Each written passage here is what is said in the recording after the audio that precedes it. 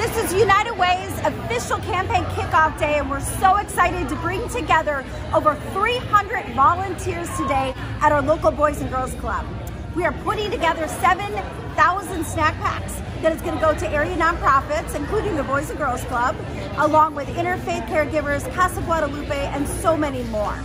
We're so excited to bring together so many different companies that are coming out to do good work to help their neighbors in need. Thank you so much, Washington County.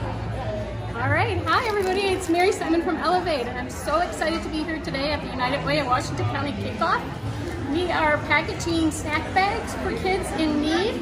It's a great opportunity for businesses to come together and do some team building, and it's a great way to kick off the United Way of Washington County campaign Plus, we're packing up pack, snack packs for kids who might not have a snack at home when they need it. So please make sure that you support the United Way of Washington County.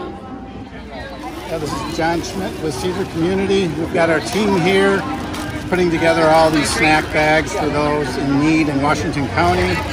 And we're trying to do as many as we can. The grand total is 7,000. We're hoping to get there. Yeah, obviously, uh, 7,000 snack packs will go out to 7,000 kids in our area and their families. And hopefully, this helps and lets them know that we are there for them and there to help them the United Way. Thank you for supporting United.